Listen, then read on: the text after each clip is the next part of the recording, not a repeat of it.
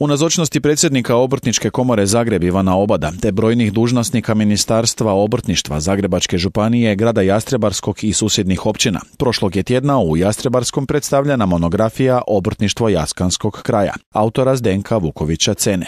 Prilog Dijane Koler. Monografija o obrtništvu Jaskanskog kraja vrijedan je dokument o razvoju obrtništva na tom području od 13. stoljeća do danas, a izdana je u povodu 40. obljetnice Udruženja obrtnika Jastrebarsko, rekao je zamjenik gradonačelnika i predsjednik tog udruženja Stipe Bučar. Mi koji, eto, smo samo jedna karika u lancu ovim godinama, isto pokušavamo na neki način da ovo udruženje obogatimo svojim radom, da našim obrtnicima pružimo prilike za edukacije, jer svjesni smo da samo praćenjem novih tehnologija, edukacijama možemo konkurirati na sve zahtjevnijem tržištu. O našoj prošlosti i sadašnjosti, o našim dostignućima, problemima i prijedlozima, o našim željama, htjenjima i snovima saznat ćete sve u ovoj knjizi koja ostaje kao trajno svjedočanstvo svih naših dometa rezultata i želja. Vjerujemo da smo knjigom Obrtnički Jaskanskog kraja postavili vrijedan spomenik mnogim značajnim, marljivim i dragim ljudima koji su svoj život posvetili svekolikom napretku i razvoju svojih naselja,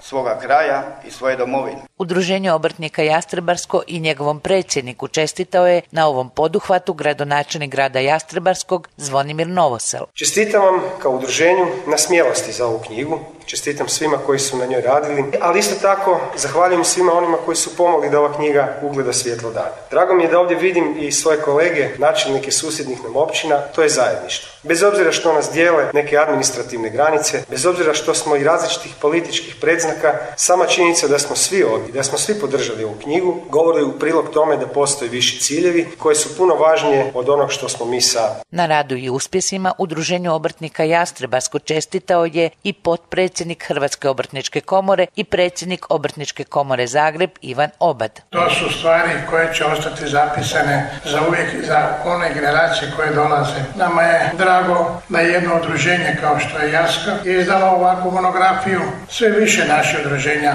izdaje svoju monografiju jer morate znati da obrtnici čine četvrtinu Hrvatske. Obrtnika sa svojim djelatnicima, sa svojom familijom broje blizu milion stanovnika. Ja sam uvijek rekla da smo jedan najjači segment u gospodarstvu i u svemu. Na konstantan pad obrtnika kojih je u Zagrebačkoj županiji oko 6000 podsjetio je pročelnik za gospodarstvo Zagrebačke županije Damir Fašajić. Mi u Zagrebačkoj županiji kroz naše bespovratne potpore, subvencije, dajemo potporu obrtnicima, pomažemo im otvaranju novih obrta, pomažemo tradicijske umjetničke obrte, ali dajemo i potpore i udruženjima obrtnika i našoj obrtničkoj komori kroz razno razne potpore, kroz nastupe na sajmovima koje nadamo se da ćemo i tim dijelom doprinijeti razvoju obrtništva i poduzetništva u našem kraju. Pokrovitelj ove monografije je ministar Gordan Maras, a na bolje uvjete rada koje donosi novi zakon o obrtništvu ukazala je načelnica sektora za obrt pri Ministarstvu poduzetništva i obrta Nadica Žužak. Mijenja se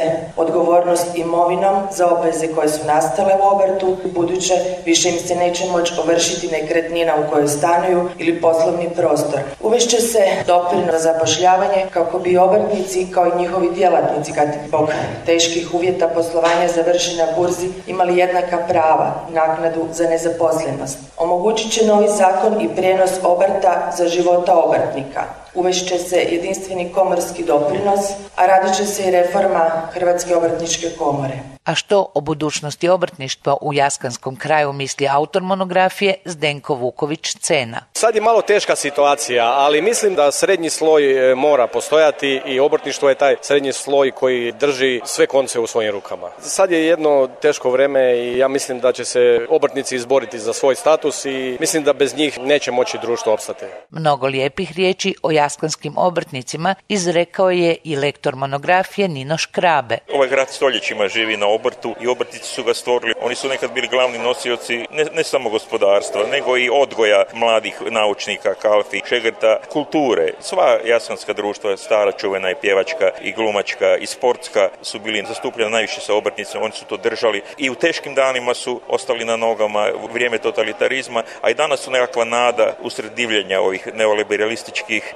tajkunskih, bankarskih, kao nekakvi individualci koji daju nadu da bi moglo biti i bolje. Monografija Obrtništvo Jaskanskog kraja obiluje brojnim ilustracijama, arhivskim fotografijama i dokumentima te detaljnim popisom obrtnika Jaskanskog kraja nekad i danas.